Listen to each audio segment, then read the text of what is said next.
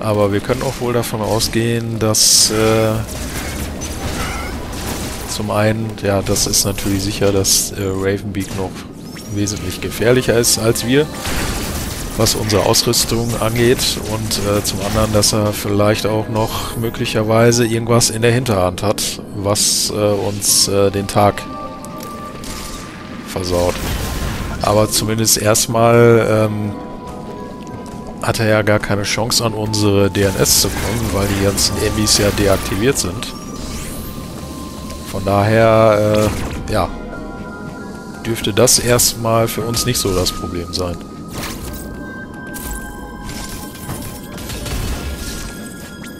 Ah ja, okay, da ist noch was. Aber ich gehe mal auch davon aus, der wird sich nicht kampflos geschlagen geben, oder?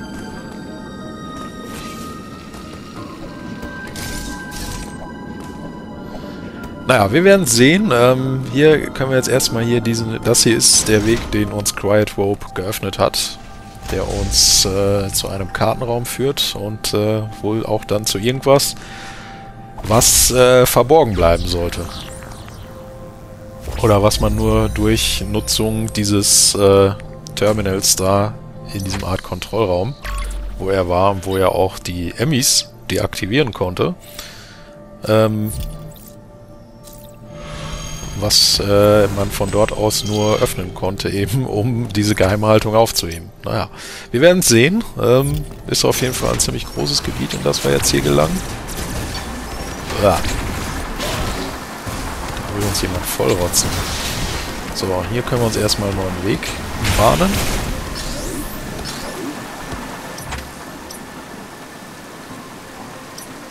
So, äh, ja, da unten War sowieso noch alles unter Wasser. Macht es wahrscheinlich jetzt auch nicht viel Sinn, da erstmal da runter zu gehen.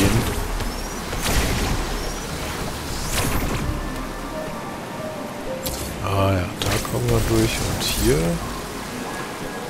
Und da oben blinkt jetzt auch was auf der Karte. Was ist irgendwas? Oh ja, ein 10er Pack Missiles ist da versteckt. Da sage ich nicht nein. 123 da jetzt an Vorrat zu haben, das äh, hört, sich, hört sich gut an und liest sich auch gut. Äh, ja, okay, unsere, die, also die Fusion Missiles haben wir nicht. das sei noch dazu gesagt.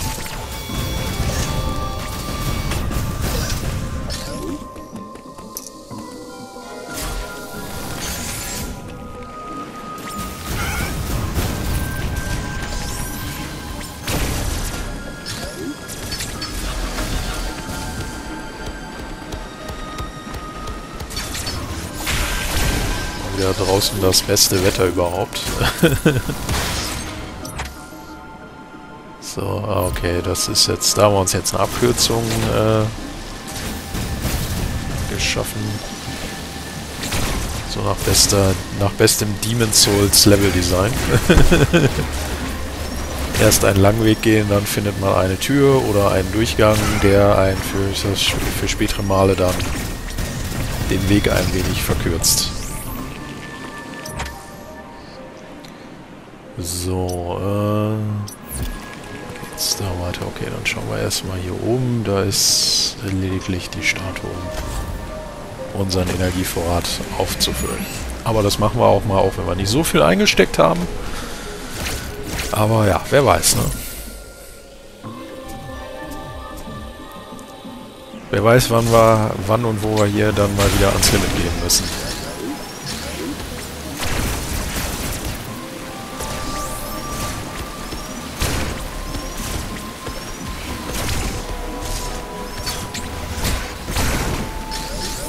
Dann ebenso im Sprung. Ja, sind, sind wir doch sehr mobil mit unserem Konterangriff in diesem Spiel.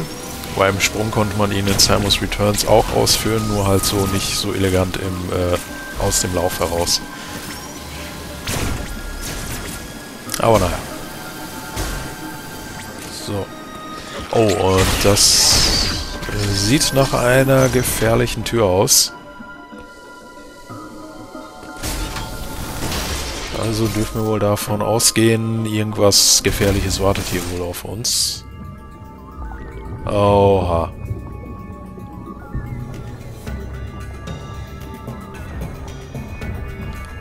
Was ist das? Es ist auf jeden Fall schon mal extrem scheiße, dass wir gegen das Ding unter Wasser kämpfen müssen. Oh, und es schaltet auch den Strom für irgendetwas ab. Mit diesem komischen Tentakel, das heißt...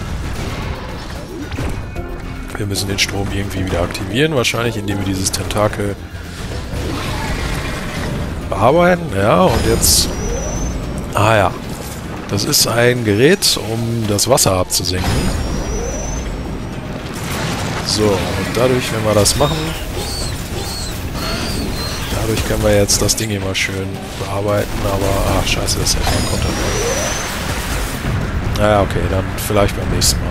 Sollten aber auch aufpassen, diese Angriffe, vor allen Dingen diese hier, die machen gut Schaden. Und natürlich können wir den auch so gerade mal unter Wasser ausweichen mit unserem Minisprung hier, aber bisher läuft es ja.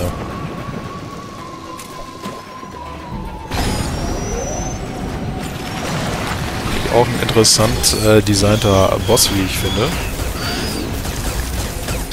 Denn äh, der zeigt einen... Ach scheiße, jetzt habe ich das hier verpennt. Äh, der zeigt einen ja so ungefähr schon, wie man vorgehen muss. Ähm, ohne jetzt aber äh, was Spezifisches da äh, zu verraten.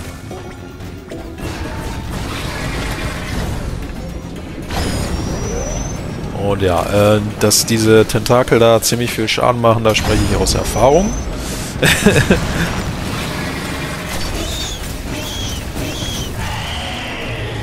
Und da haben wir ihn. Wow. Das äh, ging schnell. Ich bin äh, begeistert. Ich übertreffe mich noch selbst. das als Casual Gamer, ne? Aber gut. Ähm, ja, der scheint nicht mehr aufzustehen. Und, oh, wir fallen hier mal einfach durch den Boden. Und wo sind wir hier? Ah, ja, okay. Joe Geiger heißt das Ding.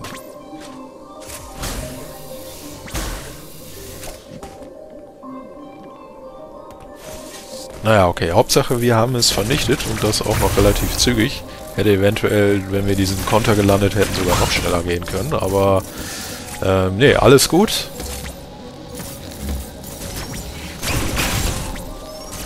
Ach, scheiße. Ähm, ja, alles gut. Lief ziemlich gut, muss ich sagen. und, äh, ah, da unten war noch was, aber da kommen wir, glaube ich... Ne, kommen wir nicht ran. Kommen wir so leider nicht ran. Wegen dem ganzen Wasser, aber gut. Müssen wir halt auf zwei zusätzliche Missiles verzichten. Ach scheiße, jetzt sind die Gegner hier wieder respawned, ne?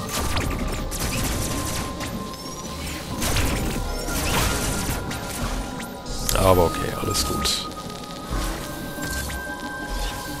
So, wie Spider-Man schwingen wir uns mit unserem Netzlasso da entlang. Naja, nicht ganz, aber so ähnlich.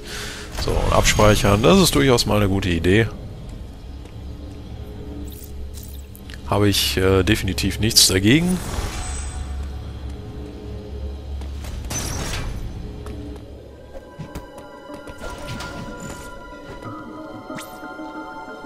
So, und äh, ja, ein Aufzug in neues oder altes Gebiet.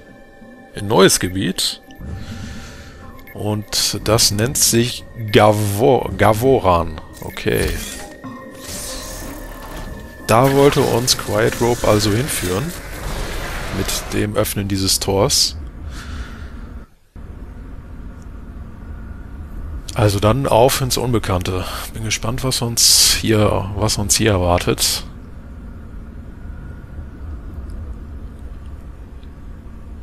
Aber gleich nicht nur gespannt ist man, man ist ja auch aufgeregt, was es hier so alles zu erkunden gibt, nicht wahr?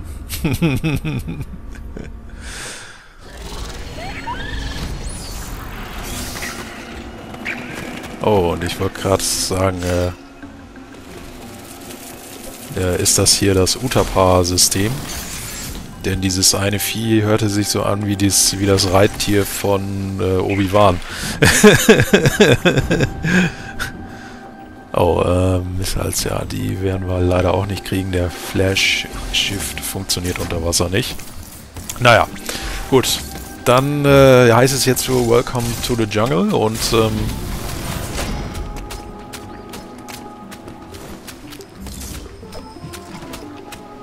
Dieser Dschungel wird, äh, dürfte wohl kein äh, Ponyhof sein, aber gut, dass wir hier eine goldene Statue haben, denn unser Missile-Vorrat ging so ein bisschen in die Knie. Hm. Das ist eine grüne Tür, die wird allen Metroid-Veteranen bekannt vorkommen und auch, dass wir sie nicht öffnen können. Noch nicht. So, äh, zwei, oh, zwei Wege wollte ich gerade sagen, aber dann kommt dieser gottverdammte Choso-Soldat zurück. Ach, scheiße. Ach Mist, jetzt habe ich den Konter verpennt.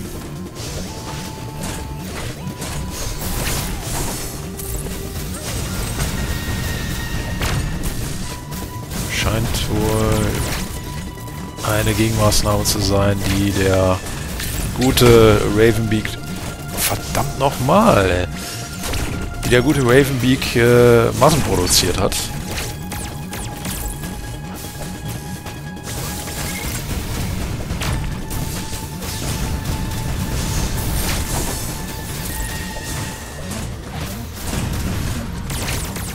Ist hier nicht mehr allzu viele Fehler erlauben. Ich glaube, der kann auch nicht mehr allzu viel und kaum sage ich das, äh, geht er drauf. Kann auch nicht mehr allzu viel einstecken. Sehr gut.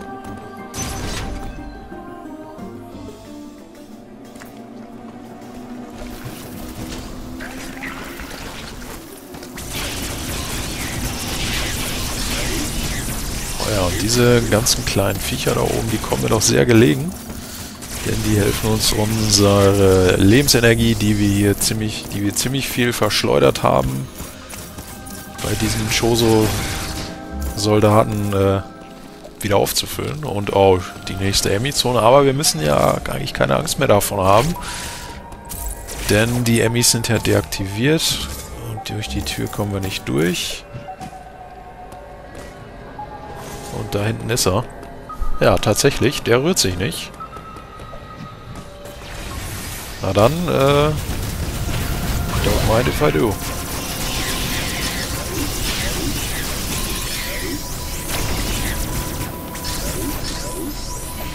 Okay, Vorräte sind aufgefüllt. Wir sind gut im Geschäft. Und, oh, Adam hat mal wieder Neuigkeiten für uns. Also dann, äh, immer raus mit der Sprache. Samus, du näherst dich der Oberfläche. Diese Zone, Kavuran, scheint ein unterirdischer Wald zu sein. Unterirdischer Wald, na dann. Die Emmy wurden deaktiviert, aber Weltenlieb ist immer noch hinter deiner Metroid DNS her. Ich habe das Video von eurer Begegnung nach deiner Ankunft erneut angesehen. Du warst Und das bedeutet? nicht gewachsen und du bist es auch jetzt nicht. Es stimmt, dass du viele deiner kämpferischen Fähigkeiten zurückerlangt hast. Dennoch liegt meine Analyse nahe, dass du es auch jetzt nicht mit ihm aufnehmen könntest, auch nicht mit all deiner Kraft. Eine Sache Ja, das macht mir Mut. Nicht. Warum hat mich Weltenlieb bei eurer Begegnung verschont? Er muss einen Grund dafür gehabt haben. Das ist eigentlich eine gute Frage, weil er hätte die DNS ja durchaus auch unserer Leiche äh, abnehmen können. Oder etwa nicht. Naja, nutzt nichts darüber zu spekulieren. Wir müssen weiter voran und sehen, dass wir an die Oberfläche kommen. Und Adam sagte ja, wir... Und wir können, äh, nicht nur Adam sagt das, sondern wir sehen es auch auf der Karte, dass wir da auf einem ziemlich guten Weg sind. Äh, nee, da kommen wir nicht durch. Ah ja, okay. Jetzt kommen wir nur nicht mehr zurück. So, äh, aber den Aufzug können wir runter bewegen. Zehnerpack Missiles auf uns. wir das irgendwie kriegen? Ja, von dieser Seite nicht. Nee, wäre auch ein bisschen zu einfach, oder? Oh Gott, und was ist das für ein fliegender Wal? Nee, da nehme ich mal lieber Abstand. Dann sehe mich erstmal hier um. Oh, da kommen wir durch. Sehr gut. Da ist noch eine Tür. Da freue ich mich doch immer sehr, sehr gerne drüber. Und da kriegen wir Super Missiles. Sehr schön. Ja, der Schlüssel für die grünen Türen. Wie immer, ne? so, eine stärkere Version einer Missile. Halte R und drücke Y, um zu schießen. Dabei wird Missile-Munition verbraucht. Super Missiles können Super Missile-Panzerungen zerstören. Ja, in diesem Spiel ist das so, dass Super Missiles nicht äh, durch ihre eigenen Container äh, verbraucht werden, sondern quasi in diesem Spiel als Upgrade für die normalen Missiles herhalten und auch mit dessen Munition verschossen werden. Und ja. ja. Dadurch können wir jetzt eben auch diese Türen öffnen und äh, ja. Hier sind wir jetzt an dem Raum. Äh, hier können wir, da hochzukommen, können wir den Bombensprung verwenden. Ich glaube, der Speedbooster wäre auch möglich, aber hey, wir machen es mit dem Bombensprung weil ich das vorhin schon in dieser einen Situation angesprochen hatte. Und äh, hey, dafür holen wir uns noch ein neues 10er-Pack Missiles. Da sage ich nicht zu nein.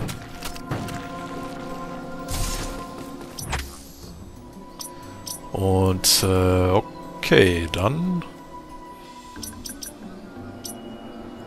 können wir eigentlich da hinten in diesem Raum, wo dieser riesige Wal drin war, weitergehen.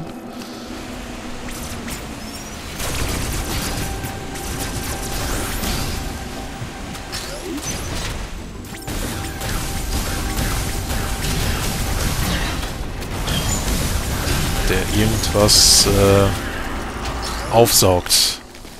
Keine Ahnung was. Wird wahrscheinlich schädlich für uns sein. Spoiler-Alarm, es ist es. Aber gut, ja, mit Super Missiles können wir auch dieses komische Gewächs nicht zerstören. Mit Super Missiles können wir ihm aber mehr Schaden zufügen, also diesem riesigen Wal. Und hier ist ein weiterer Aufzug geht er jetzt so ein bisschen Schlag auf Schlag, aber hier kommen wir erstmal wieder zurück nach Dairon.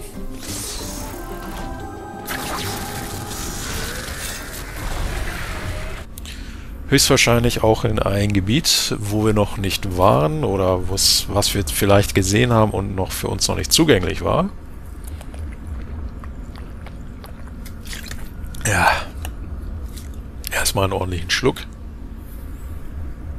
Dehydrieren ist nicht so cool. naja.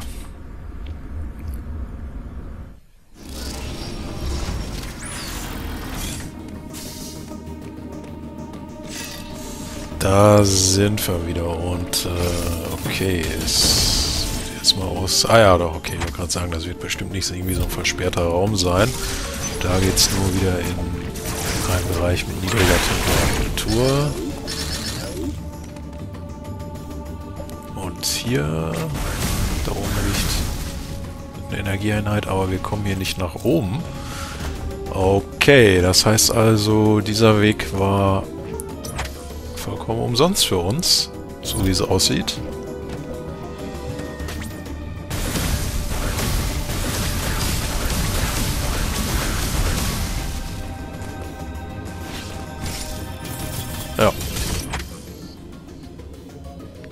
Da bleibt uns nur noch der Weg äh, wieder zurück.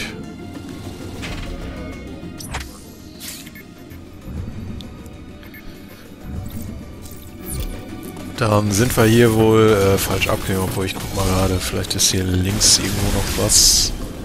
Ich weiß es gerade auch so nicht mehr, aber sieht nicht danach aus. Ne, okay, dann gehen wir einfach mal wieder zurück. Ähm, dürfen wir nochmal eine schöne Ladezeit genießen.